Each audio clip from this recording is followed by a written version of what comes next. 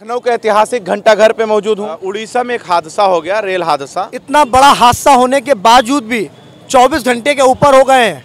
अभी तक रेल मंत्री का इस्तीफा क्यों नहीं आया? क्या समझ रहे हैं आप मोदी जी को? पूरे देश की? बुलेट ट्रेन से चली है ये। कहाँ बुलेट ट्रेन चली है? ये बुलेट ट्रेन का ही नतीजा है। अरे बुलेट ट्रेन तो पेपर में चल रही है यहाँ आम ट्रेन नहीं चल पा रही है। जिनकी वजह से भारतीय इतिहास पे इतना बड़ा कलंक लगा और इतनी बड़ी दुर्घटना हुई है और उनको तत्काल प्रभाव से बर्खास्त करना चाहिए ठीक है? रेल मंत्री का इस्तीफा होना चाहिए। सरकार अपनी जिम्मेदारियों से भागने का कार्य कर रही है। जय हिंद दोस्तों इस वक्त मैं लखनऊ के ऐतिहासिक घंटाघर पे मौजूद हूँ। ये आप भीड़ देख सकते हैं समय तकरीबन दस दस बज रहे हैं। और एक हादसा जो हुआ है उड़ीसा। रेल हादसा जिसके अंदर जो है उस ट्रेन में सवार दो सौ अट्ठासी लोगों की मौत हो गई है और तकरीबन 900 लोग घायल बताए जा रहे हैं। मोदी जी पहुँच गए। रेल मंत्रालय की तरफ़ से जो है वो नोटिस जारी यानी उनकी तरफ़ से जा, भी जारी होना था वो जारी कर दिया गया है। लेकिन आवाम का रिएक्शन क्या है? लोग क्या सोचते हैं इस पूरे अ, मामले को लेकर? हम ये बात जानने के लिए डायरेक्ट ग्राउंड पर उतर गए हैं। आपको हमारे साथ बने रहना है और देखते रहना। चलिए शुरू करते हैं। आइए। क्या हालचाल भैया? ठीक है। बड़े बुरे हालात हैं भैया। चाहे मेरे हों चाहे वो देश के हों बड़े बुरे हालात हैं। उड़ीसा में एक हादसा हो गया रेल हादसा।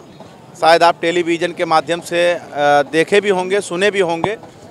दो सौ अट्ठासी लोगों की जान गई है और 900 लोग घायल हुए हैं। इस पूरे मामले को कैसे देखते हैं और गलती किसकी मानते हैं? सबसे पहले तो आपके चैनल के माध्यम से हम उन परिवारों को श्रद्धांजलि अर्पित करते हैं शोक व्यतीत करते हैं कि किसी का बेटा खोया किसी का पति खोया है किसी का भाई चला गया इस दुनिया से। सबसे बड़ी ज़िम्मेदारी अगर किसी की बनती है तो रेल मंत्री की बनती है। इतना बड़ा हादसा होने के बावजूद भी 24 घंटे के ऊपर हो गए हैं। अभी तक रेल मंत्री का इस्तीफा क्यों नहीं आया? रेल मंत्री इस्तीफा क्यों दे? निश्चित रूप से इस्तीफा दे देना चाहिए।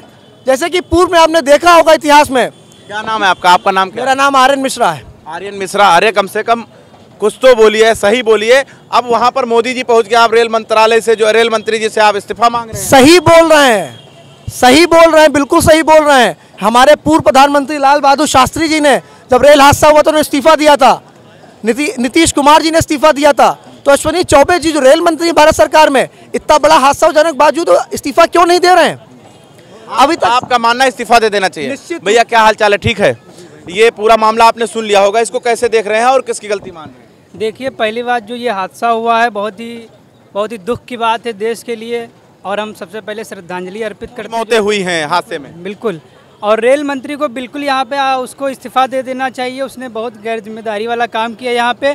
और ये भाजपा की हमेशा से दोगली राजनीति रही अगर कोई अच्छा काम करे तो वो क्रेडिट लेने के लिए आ जाते हैं मोदी मोदी मोदी। और अगर कहीं पे कमी होती है तो वो कहते हैं प्रशासन की गलती है। अगर कहीं पे कमी हो जाए तो प्रशासन की गलती है।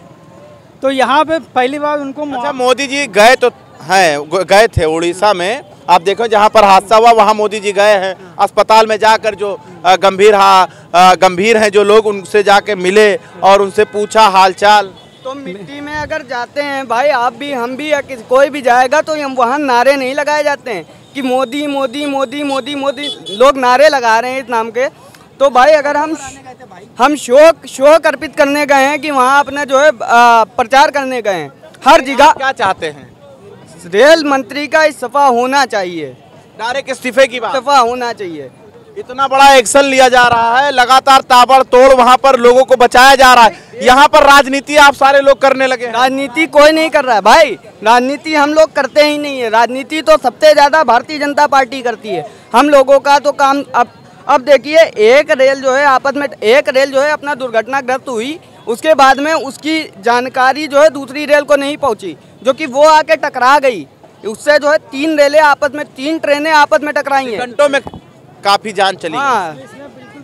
मंत्रालय की कमी है कहीं ना कहीं पे? रेल मंत्रालय की कमी है। भैया क्या हाल चाल है? ठीक है ये पूरा मामला आप जानते हैं।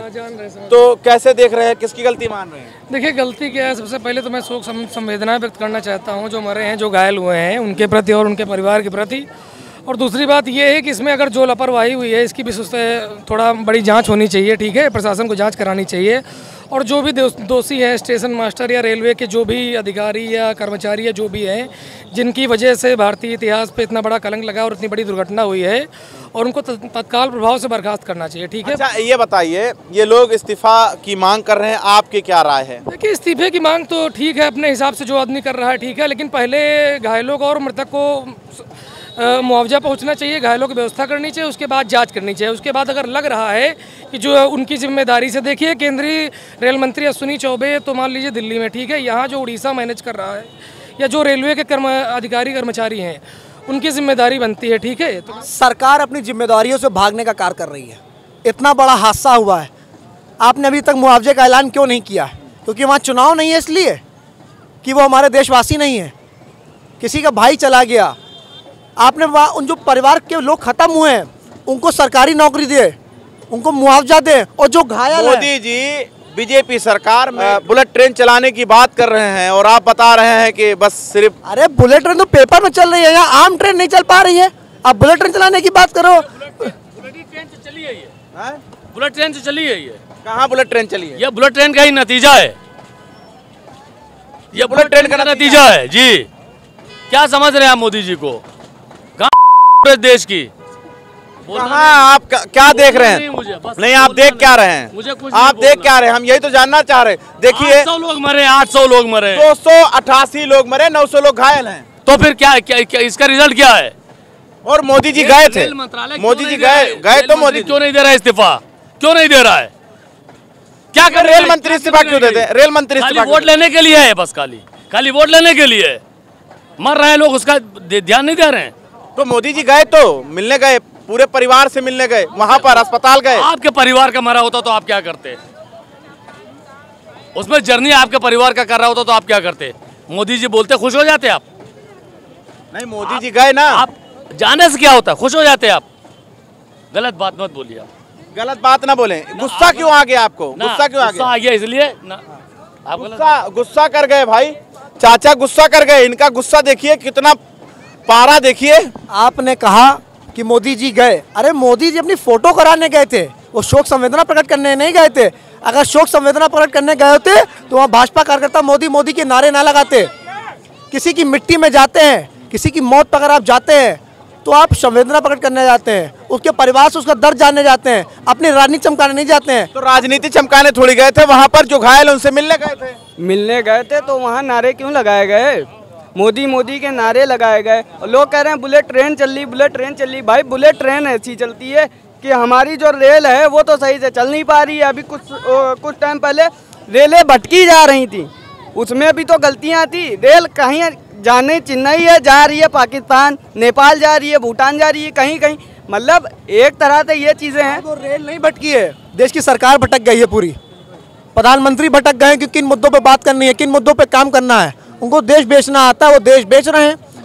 उनका उनको दर्द नहीं हुआ है। लोग बुलेट ट्रेन की बात कर रहे हैं जो हमारी रेल है जो आ, एक तरह से देखा जाए अंग्रेज़ों की देन है उसको जो है भटकाए दे रहे हैं वो कहीं जा चली जा रही हैं। उसके अलावा उसकी हम सुरक्षा नहीं कर पा रहे हैं।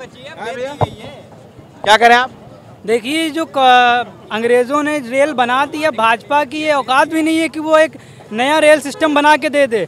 भाजपा को तो इतना ध्यान है कि वो कौन सा स्टेशन स्टेशन बेच दे कौन सा एयर, एयरपोर्ट बेच दे वो सिर्फ़ फॉर्मेलिटी बड़ा हादसा है ये। आप लोग इसको बहुत बड़ा बहुत बड़ा हादसा है। आप मानते हैं? बिल्कुल तो आप चाहते हैं इस्तीफा हो जाए? इस्तीफा होना चाहिए। किसका?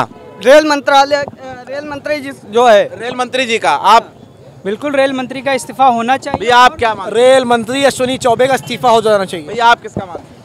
नहीं, प्रशासन की ज़िम्मेदारी है उड़ीसा प्रशासन, वह जहाँ घटना हुई है, उसको इस्तीफा देना चाहिए, बाकी घायलों